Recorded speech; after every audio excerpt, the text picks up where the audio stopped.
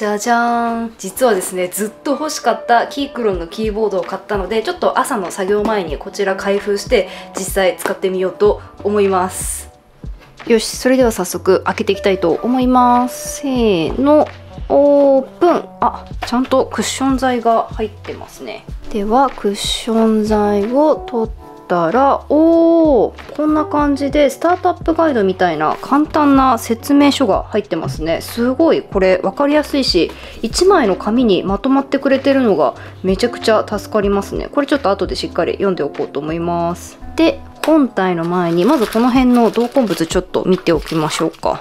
まずこちらが予備のキーキャップですかね。 Alt キーとかエスケープキーとか、あとこれは LED を変えるためのキーだと思うんですよね。あと Windows で使う人のために Windows マークも入ってますね。で、こちらがキーキャップを外すための器具とあとこれがキースイッチを外すための器具ですね。それぞれちゃんと入ってるような感じでした。これも助かりますね。でもう一個同梱物がこちらですね。USB-A から USB-C でつなぐためのケーブルが入ってました。よしでは早速本体のお披露目といきたいと思います。では入りいきます。オープン。おーすごいすごい。ちょっとこちら外しますね。よっ。うわーかっこいい。じゃじゃーん。ということでこちらがキークロン K8 の日本語配列の赤軸タイプになりますね。でこれ中に LED ライトがついているんですが私は RGB タイプを購入したのでここの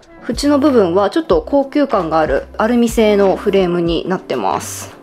やばいです。これかっこいいんですけどやっぱこのオレンジ色のポチがある感じが可愛さも醸し出してていやめちゃくちゃいいですね。やっぱキークロ人気なだけあるなっていうのが実際手に取ってみて見てみて思いました。これはかっこいい。ちょっといくつかキーキャップ外してみました。今回私は静音性のある赤軸を買った感じですね。で音に関してはまた後でしっかりタイピング音の比較検証しようかなと思ってるんですが、まあ、メカニカルの割には割と静かめなのかなと思ってます。でこのキーキャップの触り心地なんですが結構触り心地のいいサラサラマットな感じの質感になってます。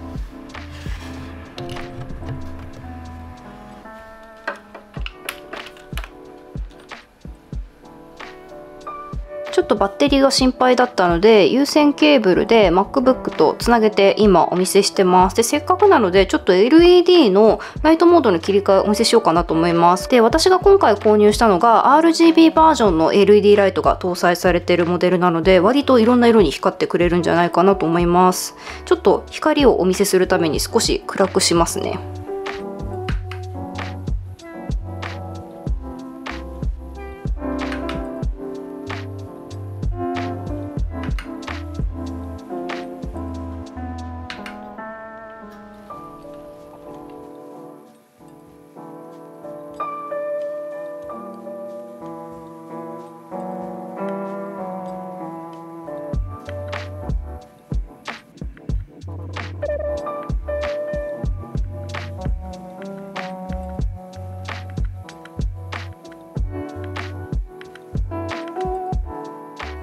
とりあえず今 LED を白の一色でつけてみてるんですけど光はかなり弱い感じですね。さっきちょっと俯瞰のカメラで撮ってたんですけど明かりが全然映らなかったので今ちょっとアップで撮影してみてます。手で影を作ってあげると光ってるのがわかるかなっていうような感じですね。で基本は私白一色で光らせるのが好きなんでデフォルトはこれでいこうかなと思うんですが、まあ、たまにちょっと切り替えてあげたりとかしてこんな感じのカラフルで使っても良さそうな感じですね。結構キュートな感じなんですよねキークロンって。非常に気に入りました。せっかくなのでいくつかキーボード打ち比べしてみようと思います。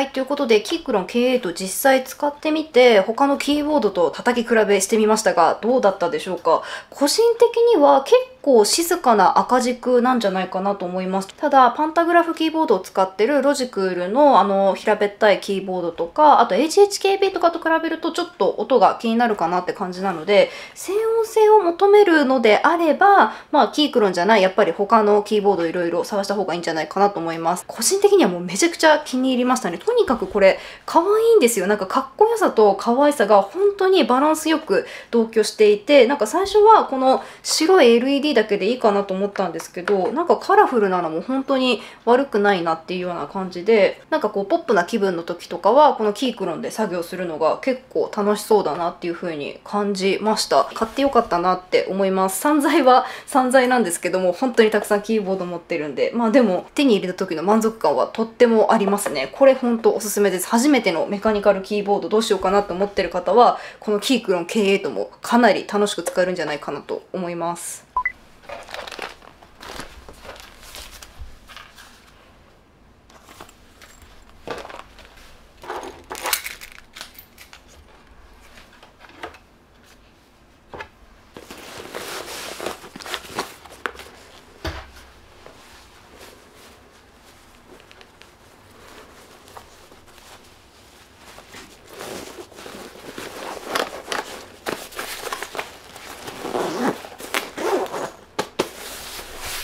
今日は金曜日ということで見たい新作映画が1本あるのでちょっと見に行ってこようかなと思います。ちなみに今日の全身はこんな感じのコーディネートになってます。ハーフデイバッグにクリフハンガーのバックハンガーとあと AirPods Pro をくっつけているような感じですね。で、外での Vlog はこちら買ったばっかりのソニー ZV-1 でいろいろ撮ってこようかなと思います。前回このモフモフウィンドスクリーン付け忘れちゃって結構風のノイズがいっぱい入っちゃったのでこれでまた綺麗な音で撮れるんじゃないかなと思います。それでは映画の時間も迫ってきてるのでそろそろ出ようと思います。では行ってきます。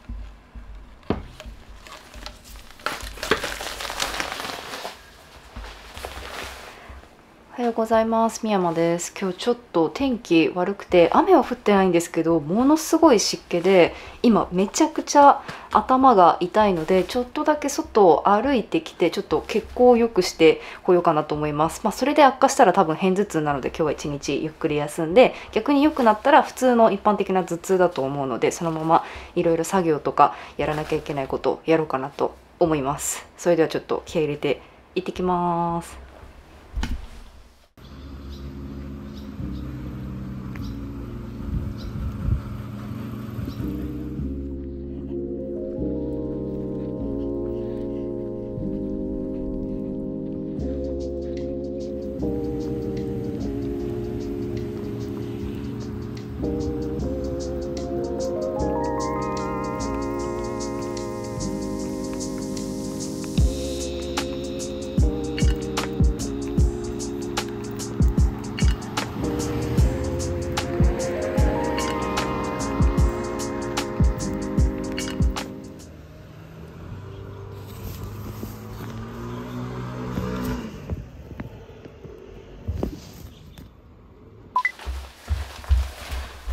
暑い。結局1時間ぐらいしっかり歩いてきました。で頭痛の方はだいぶマシにはなりましたね。まだちょっと残ってはいるんですけどこれはクーラーが当たる部屋でだいぶこう涼しく過ごせれば回復してくるかなと思います。でせっかくなのでコンビニでランチ買ってきました。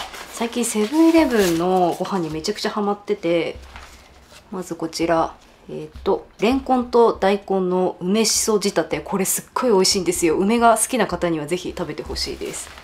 でもう一個が最近もう取り扱ってるセブンイレブンめちゃくちゃ減ってきてるんですけど鶏塩スープのサラダラーメン。これほん当に美味しくてなんかしそとかちょこちょこっと入ってたりとかするんですけどあとオクラとかいろんな野菜が入ってて少し薬味っぽい感じの味もしたりとかしてでも基本は塩の鶏ガラスープでさっぱりって感じでもうこういう蒸し暑い日にはぴったりのやつだったので今日たまたま1箇所だけ近所のセブンイレブンで売ってるところを見つけたのでたっぷり堪能したいと思います。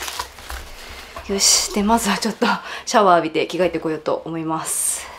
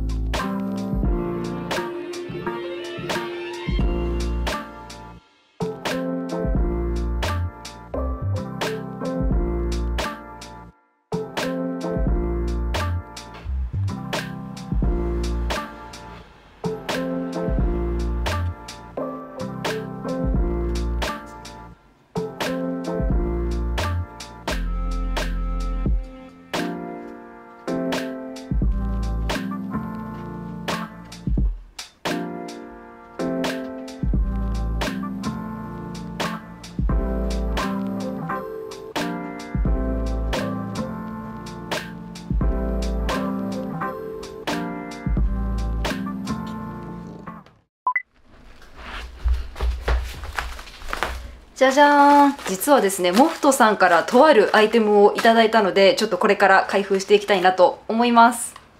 せーの。よいしょ。じゃじゃーん。なんとですね。よいしょ。今回モフトさんからいただいたのがこちらです。スター・ーズコラボのモフトアイテムをいただいたので今日はこれをがっつり開けていきたいと思います。やったー。超嬉しい。なんとですねモフトさんの担当者の方が私が過去にスター・ウォーズのグッズを開封して喜んでいる姿を見てくださっていてもしかしたらスター・ウォーズお好きなんじゃないんですかっていうことでお声掛けいただいたんですよ。もう本当にありがとうございます。で今これ幕開けでちょうど購入できるものなんですけど、ちょっと皆さんより一足先に今回私お試しさせていただただくことになりました。ということで、前置きはこれぐらいにして開けていきたいと思います。今回、スター・ウォーズコラボのモフトアイテムが2種類出てまして、まず1つ目、こちらが、このロゴマークでおなじみの帝国軍のタイプと、で、もう1個が、これですね。反乱軍のマークのデザインのこの2種類に分けて販売されているらしいです。で、今回大変ありがたいことに帝国軍デザインも反乱軍デザインも両方ともいただけたので、ちょっと今回贅沢に両方とも開けていっちゃおうかなと思います。で、まずはどっちから開けようかな。私今ちょうどダース・ベイダーの T シャツ着てるんで、ちょっと帝国軍の方の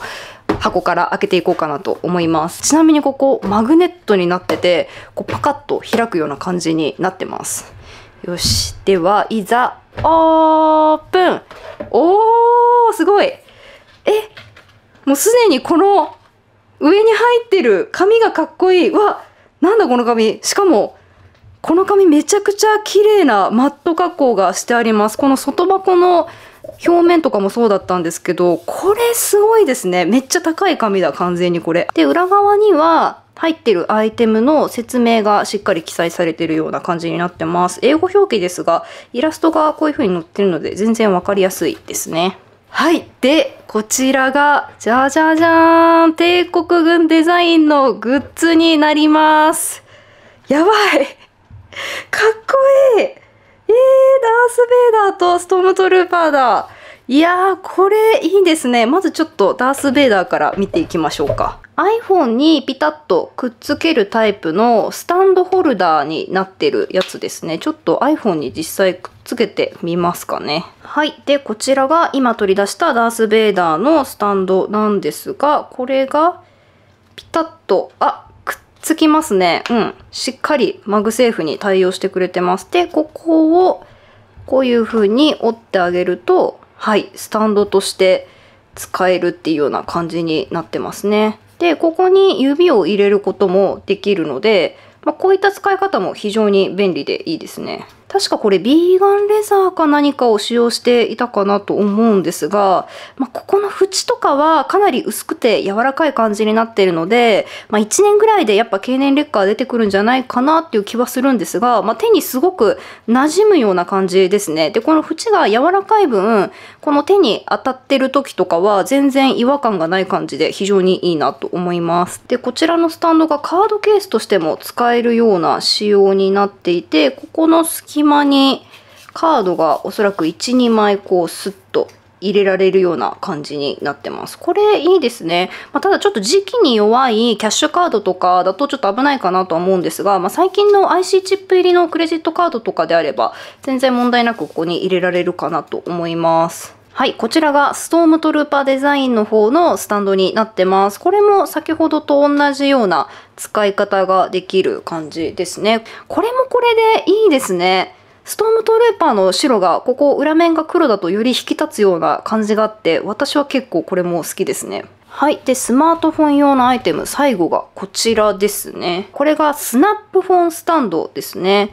多分ここをこうキュッとはい、こんな感じで開いてあげることで、こう指とかが通しやすいような感じのスタンドになってくれるものですね。これ丸い形なのがシンプルでめちゃくちゃかっこいいですね。で、これがこういう風に指を通してこう安定して iPhone とかを使う用途だけではなくてなんとこのちっちゃいのでスタンドになるらしいんですよ。こんな感じで説明書を見ると立てて使ってるのとあと横で使ってるのの両方でいけるっぽいんですよね。ちょっとやってみようと思います。はい。スタンドとして使う場合はまずここをキュッとこんな感じではい。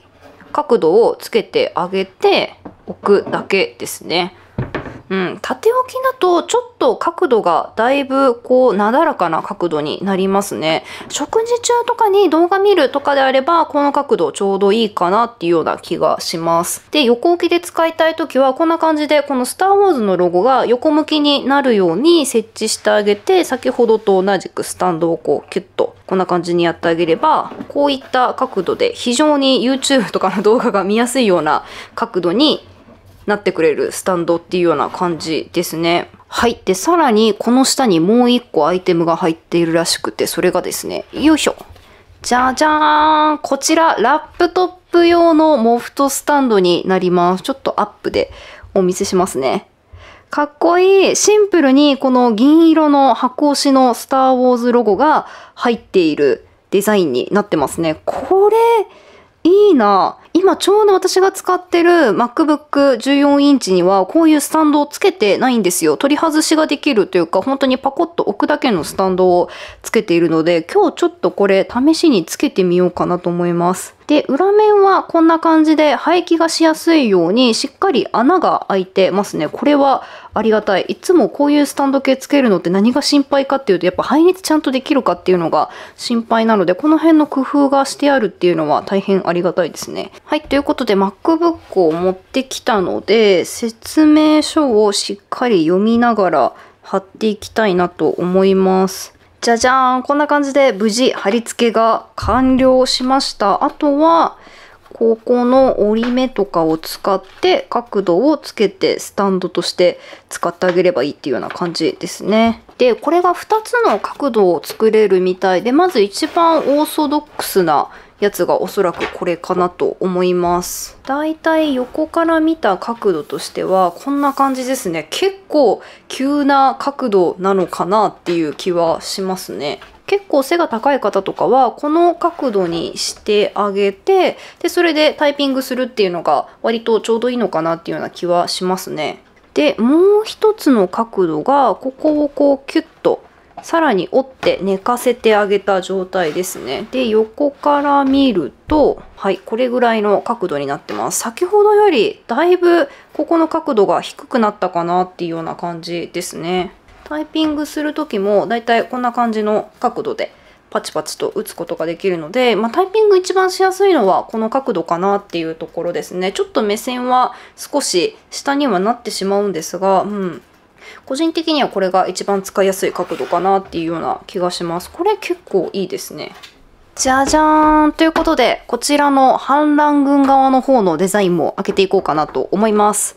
それではいざ、オープンよし、こちらは、ここのロゴがちゃんと反乱軍のロゴになってますね。わーすごいいいですねあそっか、さっきと違ってエンボス加工になってる。ちょっとアップでお見せしようかなと思うんですが、じゃじゃーんこちらが反乱軍デザインのスマホスタンドの方になってますね。で、ここ、さっき帝国軍の方はプリントだったんですけど、反乱軍に関してはエンボス加工になってますね。で、色についてはさっきのストームトルーパーと同じちょっとグレーかかったホワイトみたいな色になってますね。並べるとこんな感じです。うん、色は一緒ですね。肉眼で見る限りだと同じグレーです。で、こちら iPhone の方にくっつけるとこんな感じですね。うん。これはこれで素敵ですね。ここ後ろブラックだからどうだろうって思ったんですが、先ほどのストームトルーパー同様結構馴染んでるなっていうような感じがします。ただこれさっき言うの忘れちゃったんですけど、この MOFT の MagSafe のこのスタンドなんですが、ここに指を入れてこう使えるのはいいんですけど、ここのマグネットの強度があんまり強くないんですよ。ちょっと振っちゃうと、こんな感じで iPhone 落っこってしまうので、ちょっとこの辺りは注意して使っていただければなと思います。もう一個のスタンドが、じゃじゃーん、こちら。ちょっとエンボス加工で見にくいと思うんですが、C3PO の加工が入ってます。うん、やっぱり並べるといいですね。まあ、この二人相棒みたいな感じなんで、C3PO と R2D2 両方ともエンボス加工でしっかりされてるのめちゃくちゃ嬉しいです。はい。で、こちらのスナップフォンスタンドのデザインがこんな感じですね。あ、本当にさっきの帝国軍と色違いのここのロゴ違いって感じですね。2つ並べるとこんな感じになります。いやー、このスナップフォンスタンドデザイン的にもめちゃくちゃかっこいいし、しかも使いやすいっていうのがたまらんですね。で、こちらの下側には、よいしょ。じゃじゃーん。こんな感じで、はい。モフトのラップトップ用のスタンドも色違いで入ってました。本当にここのロゴがシルバーなのが共通で、ここの色がグレーホワイトなだけですね、違いは。うん、これもシンプルでめちゃくちゃ使いやすそう。今もうちょっとブラックの帝国軍柄の方をつけちゃったので、一旦これは保管しておこうかなと思うんですが、またあのブラックの方が、こういうところとかちょっと強度が弱ってきて切れちゃったりとかする可能性もありそうなのでそしたらまたこっち使おうかなと思います。